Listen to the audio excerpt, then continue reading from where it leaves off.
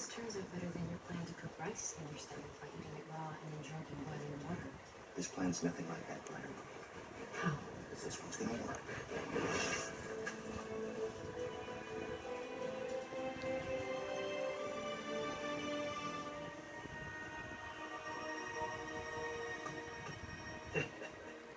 Keep